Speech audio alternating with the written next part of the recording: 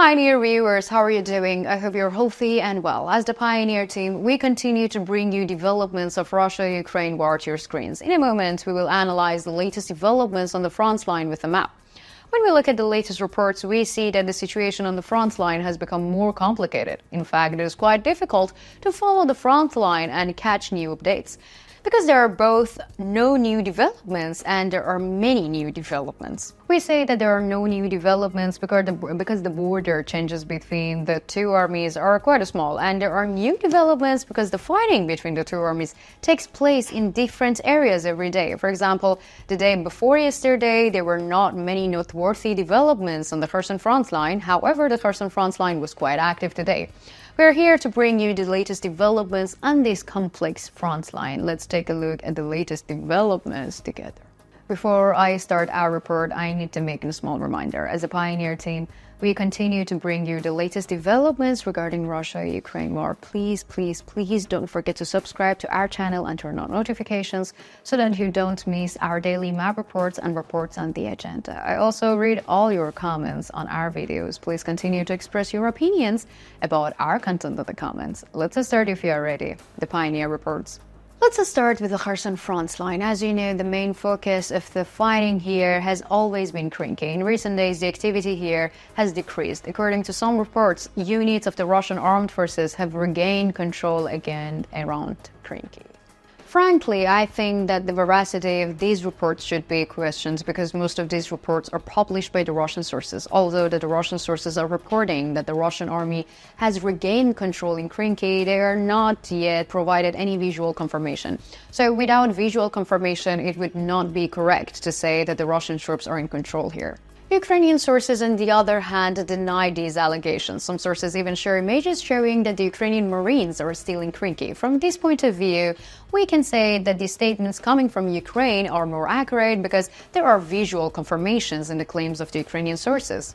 The reports we have received on the artillery activity in the region also shows that the Ukrainian troops are still in control of Krinky. This is because, according to the latest reports, artillery units of the Russian armed forces targeted Ukrainian armed forces units, the stations in Krinky, Antoniivka, Kherson, and Bilozerka. On the other hand, artillery units of the Ukrainian armed forces targeted Olapristan, Oleshki, Kokhani, and Novokakhovka.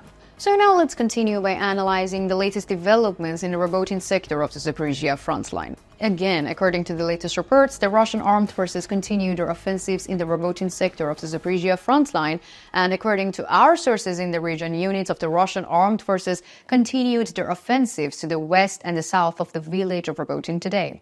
It is reported that the Russian military carried out intensive aerial bombardments during these attacks. However, the Ukrainian armed forces continue to test themselves successfully in the region, and the attacks of the Russian army failed here again. In addition, as I mentioned in our previous reports, the Russian army was active in the Verbov direction, and the latest reports from the region indicate that the Russian armed forces have increased their pressure on Verbov. Although the intensity of the fighting has decreased, there was heavy shelling. However, there are no results, and the Ukrainian armed forces troops continue to hold their positions. According to reports, there have been no changes on the demarcation line in the Robotin sector of the Zaporizhia front line. Let me continue with artillery activity in the region. According to the latest reports, artillery units of the Russian armed forces targeted units of the Ukrainian armed forces stations in Robotin, Mala Tokmachka, and Orikhiv line. In turn, artillery units of the Ukrainian armed forces targeted units of the Russian armed forces stations in Kopani, Novoprokopivka, and Verbov. Let's continue with the latest developments in the Vuhledar sector of the Zaporizhia front line. According to the latest reports, the Russian armed forces have again intensified their offensives north of Pryotny today. There is an intense shelling in the area, and the infantry of the Russian armed forces is actively participating in the fighting. However, the situation is quite stable, and the Ukrainian defenses in the area are still holding positions. Now let me continue with artillery activity in the region. According to the latest reports, units of the Russian armed forces targeted Ukrainian armed forces positions north of Urozhaine and Pryotny. In turn, units of the Ukrainian armed forces targeted units of the Russian armed forces stations in Zavitne Bazhannia. Now, let's continue with the latest developments on the Donetsk front line. According to the latest reports, units of the Russian armed forces attacked Novomikhailivka from the south, east, and northeast. The Ukrainian armed forces units are holding their positions in a circular defense. So far, no Russian military advances have been recorded here. On the other hand, Russian troops' offensives in the Pobeda and Gorogorivka area has also failed. However, there is an advance south of town of Gorogorivka. So here, the defensive positions of the Ukrainian armed forces are not as strong as on the eastern approaches, but nevertheless, resistance continues.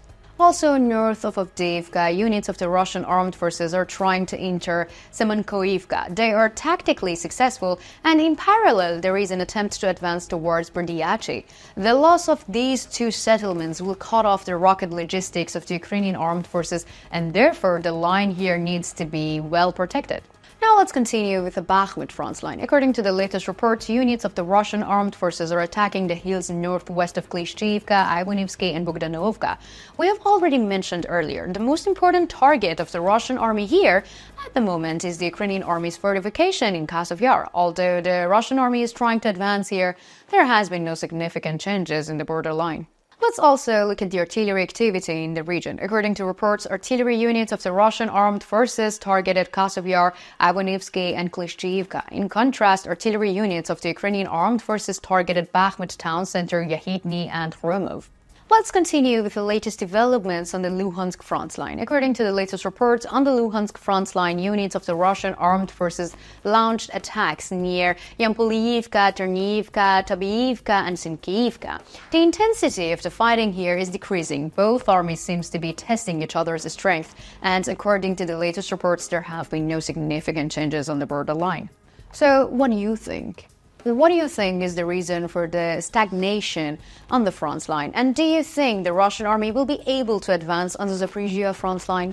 Do you think that the Russian army will be able to continue advancing on the Donetsk front line? Or what do you think about the Kasov on the Bakhmut front line?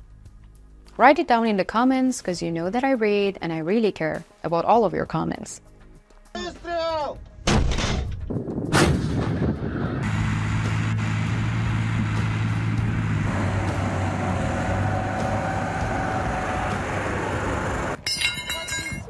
Два двести. Али 200. Али.